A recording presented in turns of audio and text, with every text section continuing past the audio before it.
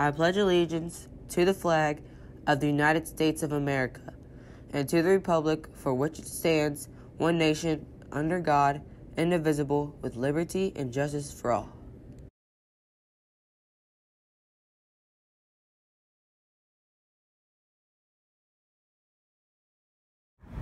This upcoming report card will not be given now.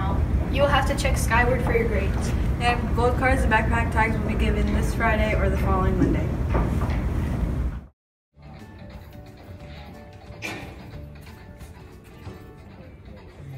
Yeehaw, partner. Gee Wilkers, I sure do want a yearbook. Well, I did hear from a little birdie that uh, if you pre-order, it's only $25 and you get the deluxe edition. But if you're a bit too late to the party, you it's only $29. So it's a pretty stinking darn good deal. Which reminds Come on, me, little horsey. that reminds me of a spaghetti western, which also reminds me of Fazoli's. Hey Falcons, it's that time of year. Yearbook orders have begun. Due to a surplus from last year's successful yearbook sales, we are able to offer an early bird discount. Order now through March 6th, and your yearbook will only cost $25. Orders March 7th through 18th will cost the full $29 selling price. Order early and save. You can order online or in person. Order forms are available in the bookstore. Cash or checks made payable to Northview Middle School are accepted. Don't delay. Order today. If you are interested in buying a yearbook, Um, you can pre-order them now through March 6th. The yearbook prices are $25. You can order online or turn in a form from the bookstore. Cash and checks are payable to Northview Middle School. Okay. Are you in eighth grade and in the class of 2024? Open Gym and Pizza Night is for you. Friday, February 21st, 4.30 to 6. Pay in your advisory through February 20th and no tickets will be sold at the event.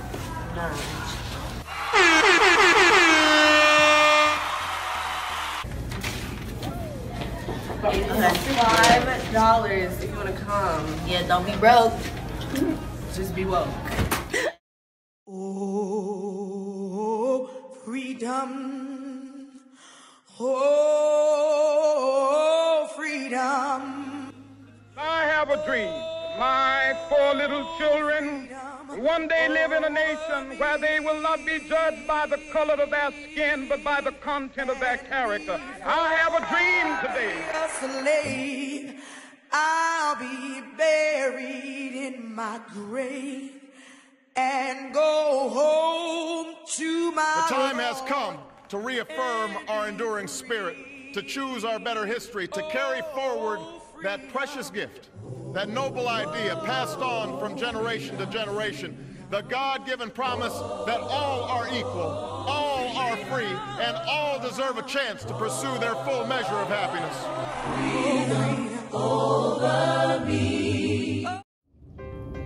The quest for equal rights and fair treatment was still a daily struggle for African Americans in the early 1950s, but progress was being made to end the segregation practices of the Jim Crow era. Jackie Robinson broke the color barrier when he became the first African American to play Major League Baseball since the 1800s, joining the Brooklyn Dodgers as the first baseman. The NAACP and the Southern Christian Leadership Conference were working hard to challenge segregation laws, filing lawsuits in various states across the South.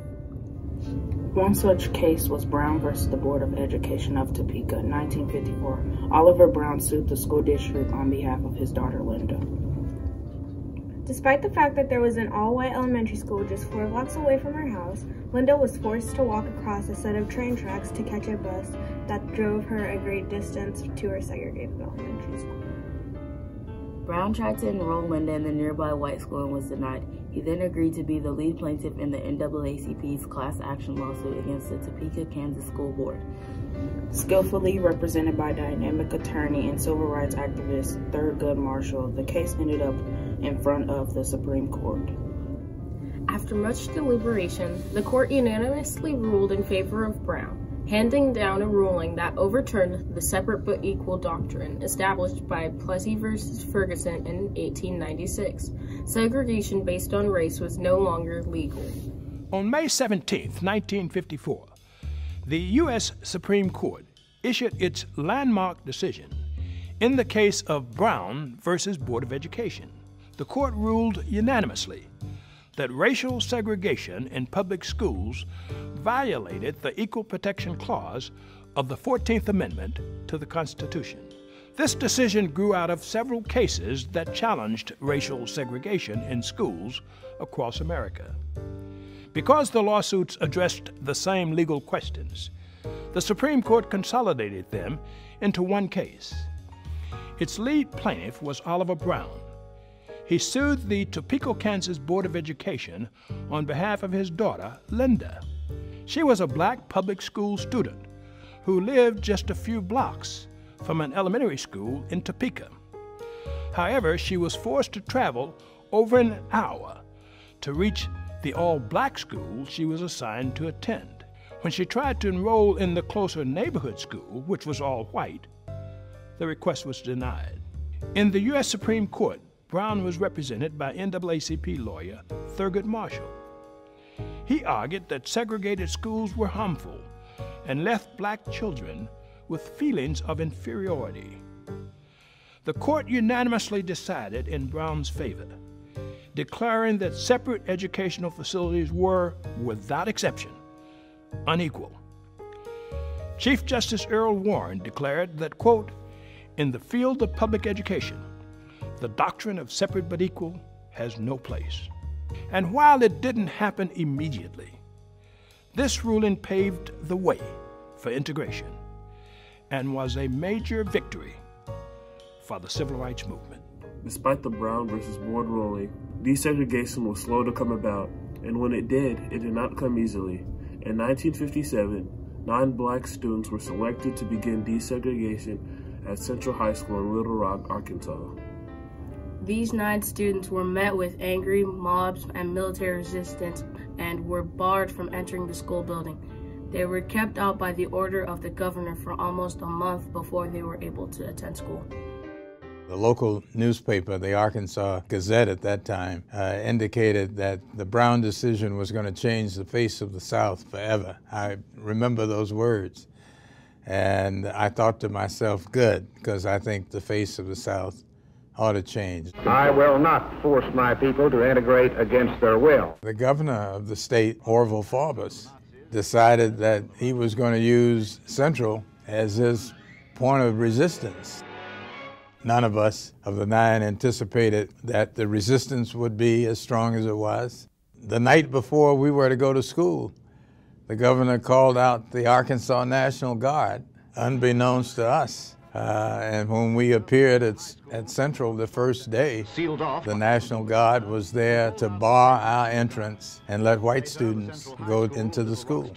What it was like, it was rejection that uh, I had never experienced like that it seemed to me that if they were going to all of this trouble to keep me out, there was something bigger than my simply going to class.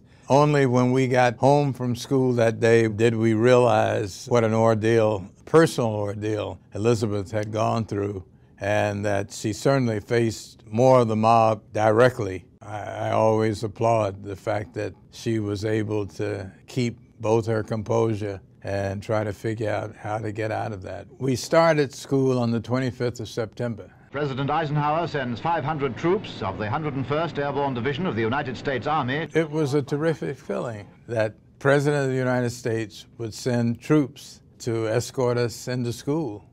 I, I didn't know what was going to happen after that. It was like going to war every day. Uh, you had students who tried to use as much verbiage as they could to intimidate us. We had threats and uh, comments that, uh, you know, we would be killed for all of us. We decided that this was uh, a year that we were going to support each other. We were going to try to do as well as we could uh, in our academic work. Some were a lot smarter than me, but I also was determined that this year I was going to graduate from Central. The uh, principal of the school told me at one point along the way that um, I didn't have to come to the ceremony. They would mail me my diploma. And I thought, listen, I didn't go through all this to uh, pass up the, uh, the ceremony. Maybe the, the world thought that after Little Rock, everything is going to be fixed. And one of the important pieces, I, I'm sure I don't need it to remind anyone, that the history of slavery in this country makes it very difficult to overcome a lot of issues on race. We're a long way from being perfect, but we certainly are not what we were when I started out. I, I believe that our participation at Central is one of those many steps that's gone to change this country for the better. A few years later, Ruby Bridges was the first African American child to desegregate an all-white elementary school. Her parents were divided about the decision to let her go to an all-white school. Her father was worried about her safety, but her mother wanted to give her a better education. Ultimately, they decided to allow her to attend William Frantz Elementary School in New Orleans, Louisiana. Ruby and her mother were escorted by security every day that year.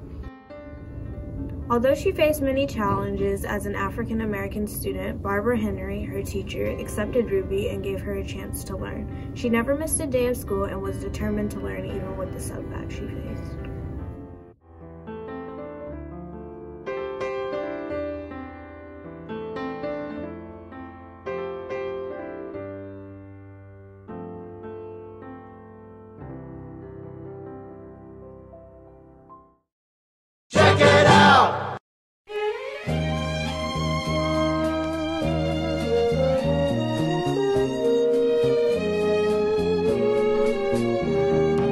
Let's check it out. Shut the camera off. See the batteries. Check it out.